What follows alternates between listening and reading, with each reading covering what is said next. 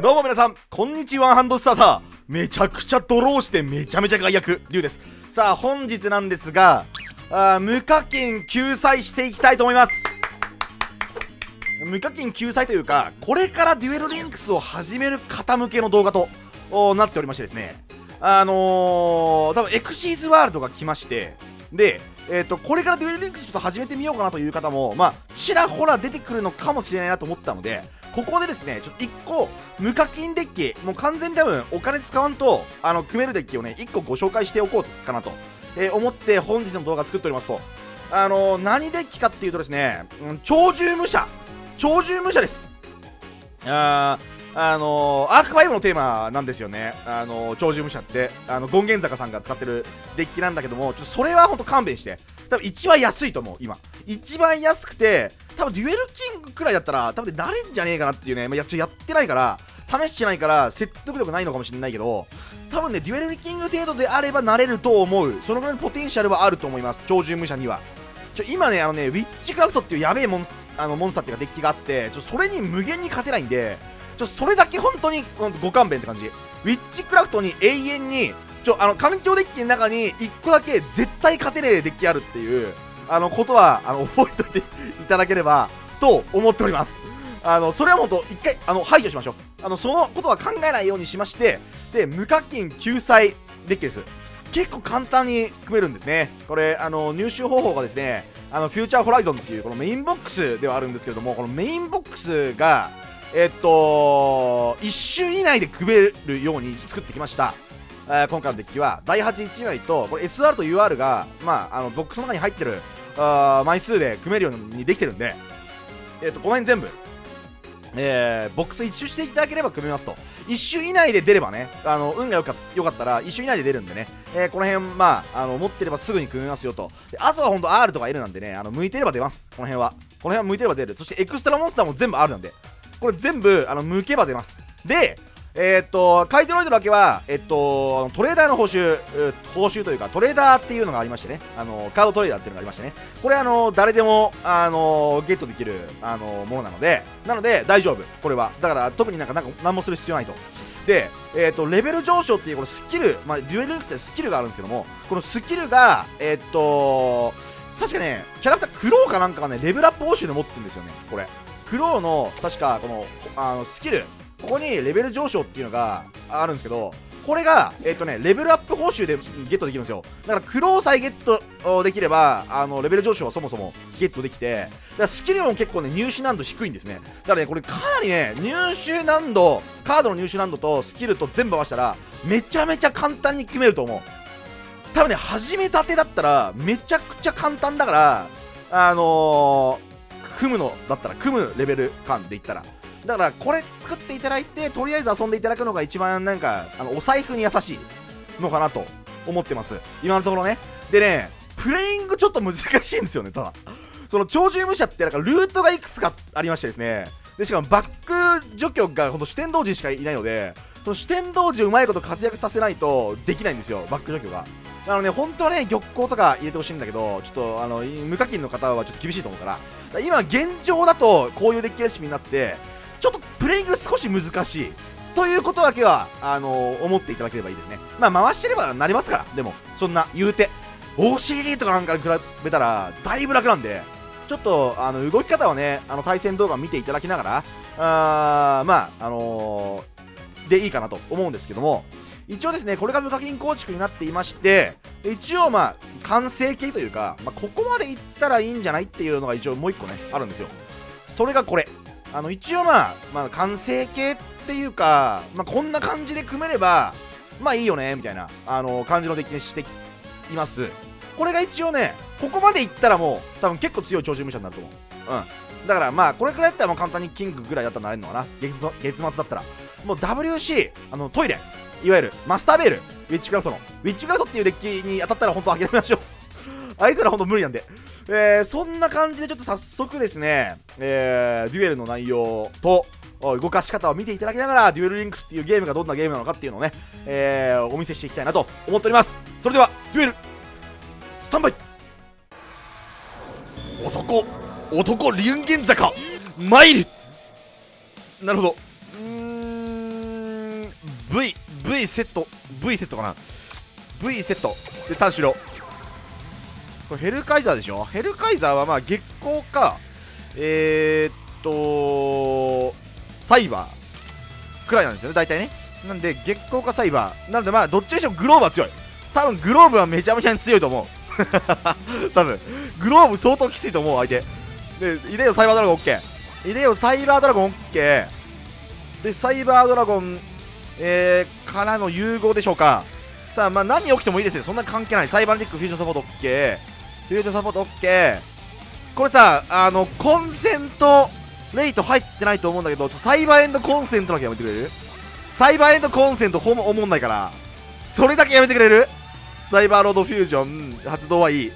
ちょマジで。ちょ3体やめよう。3体やめよう。ちょほんと3体は1回やめよう。ちょ1回1回1回。1回やめよう。3体やばい！ちょやめてやめてやめて！そっちか。そっちか危ない。えー、そっち OK そっちはあんまり関係ないね。決まり鉄鋼、えー、ランページドラゴンはあんまり関係ない。で2回連打も別にそれも全く関係ない。いい。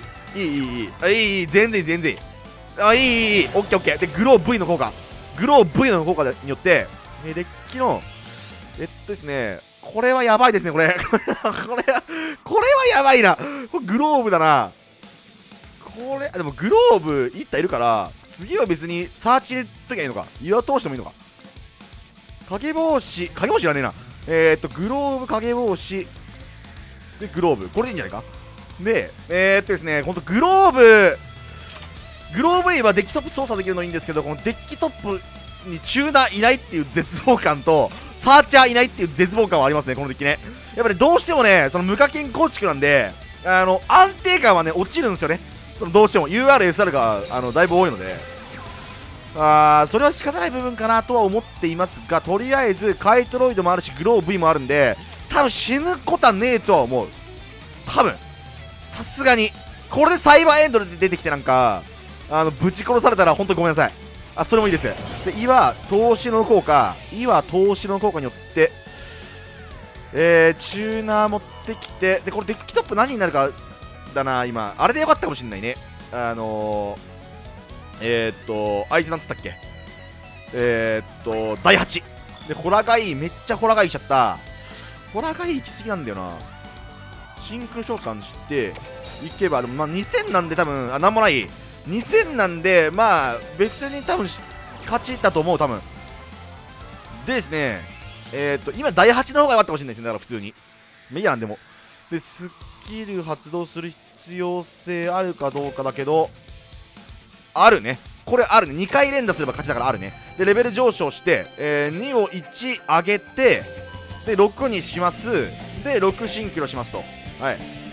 で鳥獣えー、なんつうのこれ？鳥獣新規、えー、視点同時新規の召喚。そしそして視点同時が新規召喚に成功した場合の効果を発動するぜ視点同時は新規召喚に成功した場合相手のフィールドの魔法トラップカードを詰めて破壊することができてしまう。はい来たはいお疲れ様でした。これが無課金構築よ。さあお相手の方、えー、幼女よろしくお願いします。デュエルスタンバイ。まあハンドは悪くないね。あのー、これね心我慢 A がね結構強くてなんだかんだワンキルを防いでくれるっていうのはある。結構割と強い。心我慢 A は。しかも守備高いし。セット OK 知らないも OK。OK、OK。知らないはちょっとね、罠は強いんでね、罠をなんとか、えー、踏み越えていく必要があるんですけど、まあ、罠は主天王寺で踏みに行くって感じかな。基本的には。あの、玉光とかちょっと、あの、入れてないんで、あの、無課金構築なんで。なので、えー、っとですね、これちょっと難しいんだよな、これ。どうすればいいんだろう、これ。これちょっとむずいな。とりあえず特殊召喚だけしましようか変な喋り方になったよ。さあそれは何ですかまあ多分6級部隊かなんかなんじゃないかなとは思うんだけど何ですか？さあ何を発動しますかと？そのセットが何ですかと？あ何もしない。何もしない。この仲裁は何です？えー、これどうですか？あ底なし。底なしですかね？底なしっぽいですね。多分底なしだと思います。えー、鳥獣武者第8第8でっか？第8底なしでしょ？そこはちょっとめんどくさいんだよな。うーんとねそこらしだったら影帽子あまりいないからえっと第8でいっか。第8第8特殊召喚成功時守備表示になるよという効果。表示景色変更するよという効果。で、えー、第8効果、えー、変えながらサーチさせてもいただけるという効果。なるほど。うーんと岩通しいやもう2連打する？よとしいっか。岩通しでいい？でえー、っとホラガイ特殊召喚が先だよね。ホラガイ特殊召喚ここはどうですか？ここどうですか？これはどうですか？何もない。何もないか。なるほど。じゃあ岩通しつける。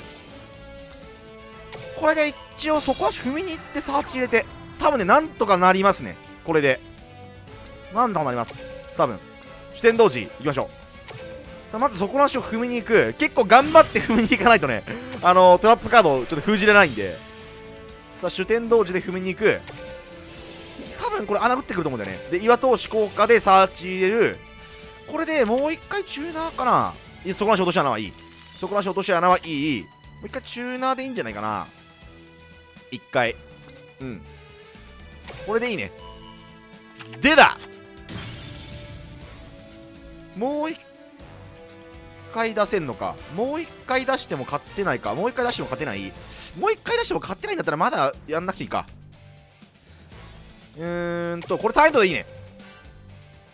これねあのー、召喚剣使わないでここまでできるんで結構強いですよね。結構強いと思う。召喚剣を使わないであの展開ができるっていうのはかなり強いと思うね。さあ相手のあとはあのチューナーレベル2のチューナーを多分おそらく墓地に送らないといけなくて、まあ、知らね。えっていうのはね。あの墓地にチューナーを落としてで墓地シンクロをあ結構連発していくテーマなので、まあ、あのチューナー墓地に送れないとあんまり強くないんですよね。今ね。だからまあ普通にモンスターを召喚してシンクロ召喚してくるか、まあ、もしくは土球部隊とかをセットしてあれチューナーを墓地に送るかしないと多分いけないというところでしょう。でそれなんかあたふたあたふたしてる間に僕はダイレクトアタックを2回決めて勝ちたいっていうのはあるんだけどやっぱねどうしてもね魔法タップのなんかその除去みたいなのはあのあった方がいいと思うんで余裕がある人は演武玉光っていうあの相手のセットカードを封じるっていうねあの魔法があるんですけどあれはあった方がいいと思います。あの演武玉光のいいところはえ墓地に魔法カードとかいかないのでだからあのその鳥獣武者って結構魔法トラップが墓地にあるとあの効果はもうその発揮できないっていうモンスターが多いんですね。だから魔法トラップカードを墓地に置かないようにしながら相手のバックを封じる必要性があって。それに一番相性がいいのがまあ結構玉光っていうその自分のフィールドに残り続けながら相手のセットカードを抑えるみたいなね。のができるんでね。でコズミックサイクロンされたら別にあの除外されるだけなんで墓地行かないんで結構良くて。なんでね玉光ある人は玉光積んだ方がいいと思います。まあ1枚か2枚。2枚くらい積んで欲しいかな。基本的には。で4500は別に多分ねこれ知らないんだよ。まだ知らない。まだ知らない。2500を単体で突破することできないから OK でこれ次テックトップダブル本きた。OK ハッピーセットだ。これがハッピーセット。これがハッピーセットよ。これが知らぬいるハッピーセット。えー、心我慢 A 召喚していく。フリーボールでも通らない。さあ超事務者ここらがいいよし特殊召喚。そしてレベル3えー、心我慢 A に。えー、レベル2ホラーが E をチューニング。シックな召喚。レベル5超獣虫形成ムサシー。ムサシーのモンスター効果を発動。墓地のホラが E を回収しホラーが E の効果を発動。ホラーが E をさらに特殊召喚。そしてレベル5ムサシーにレベル2ホラが E をチューニング。シックな召喚。超獣。こいつ超獣何？超獣忍者か。超獣忍者忍びアースイそしてグレートウォールを装備。さらにダブルホームを装備。出たこの最強ムーブ。お前のモンスターなんてな関係ねえんだよ。お前のモンスターなんてな関係ねえんだよおらおら残機の用意はできているか？対戦ありがとうございました。これがですね相手ガン無視超獣スーパーワンキルです。対戦あざやめてやめてやめてやめて。やめろよマジで。キモいわ。このモンスターほんまにキモい。ざけんなよ。もういいわそいつ本当に。こいつこれ作ったやつマジで首だろ。このモンスターデザインしたやつ首でいい。マジで。何これ。おーい。なんでだよ。なんでだよ。なんて日だ。